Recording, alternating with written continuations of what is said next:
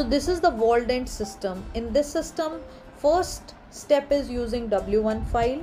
Then we recapitulate using a 10 k file size irrigate lubricate. Second step is using a w2 file. Then we recapitulate irrigate lubricate. Third step is using a w3 file.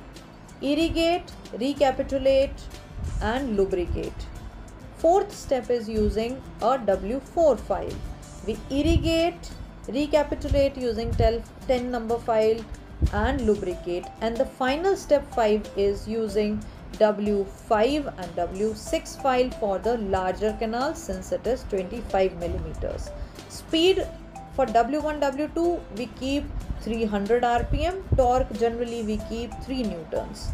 So remember this, the first step once we start is using 8% taper with 17 mm file size. We use as an orifice opener. We move the file slowly forward but we do not apply any pressure apically. So we take this file up to the working length and then we check with 10 number k file size the patency of the canal and when you are doing it the w1 wt file we use 300 rpm of speed and 3 newton of torque. The second step is using w2 file. Now w2 file is 2% taper 19 millimeters of file. We introduce up till the working length. We move the file slowly forward without putting any apical pressure. Recapitulate using 15 number k file size till the working length in between we recapitulate using 10 number k file to check the patency of the canal, irrigate and lubricate. Step 3 is using 4% taper, 20 mm of file for the anatomical inspection up till the working length slowly introduce into the canal in a packing motion. Now if there is resistance you can go back to the previous step. In between recapitulate, irrigate and lubricate the canal. So remember step 1 is W1, step 2 is W2, step 3 is W3 now coming to the step 4 so after step 3 we have the step 4 so so remember whatever file system you are using we have to go in the sequence and always remember to see the instructions on the rotary file system.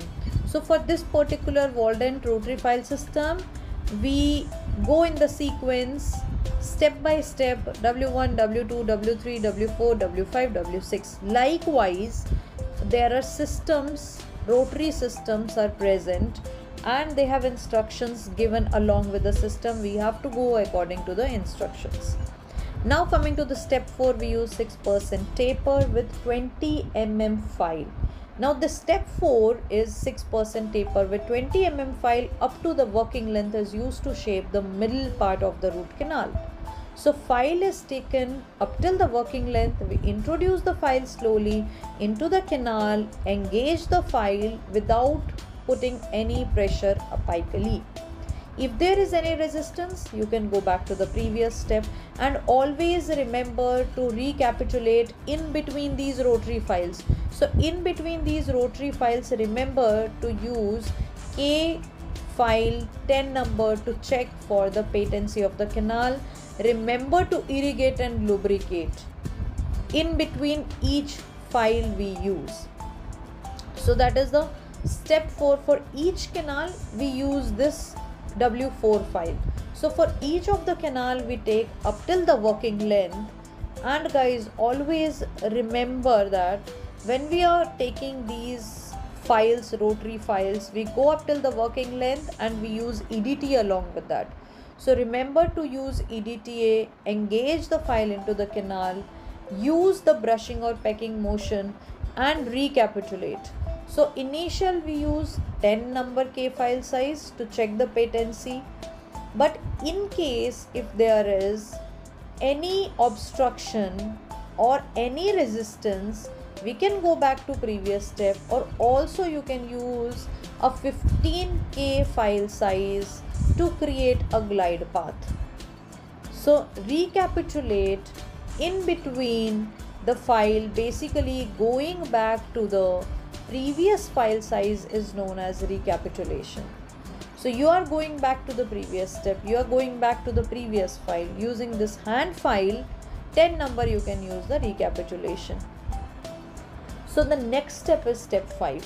You can take a 4% 25 millimeter file or you can take next step is 6% taper 25 millimeter file since the size is 25 millimeter so it is used for larger canals to the working length. So basically the purpose is to enlarge the apical part of the canal. We slowly introduce the file into the canal. Without putting any pressure apically we finish the rotary BMP with W5, W6 file size. So W1, W3 the speed we use is 300 rpm, torque is 3 newtons. For W3, W4, W5 and W6 slightly you can increase the speed up to 325 rpm and you can reduce the torque up to 1.8 newton and guys always remember see this is the red band file for this particular rotary system which is basically 4% and 6% taper 25 millimeter file size up till the working length. So for larger canal you can use these w5 or w6 at the fifth step. So remember to use very gentle touch. Do not force the file into the apical area. Always irrigate the canal before engaging a file. Always use edta along with a file use the file with a brushing or pecking motion and take the file passively with very light resistance and try to brush out. So always remember to brush out the file of the canal. Never push into the canal. Try to take out of the canal and remember to irrigate in between. So recapitulate in between each file and irrigate in between each file. So i have skipped the recapitulation and irrigation step. That is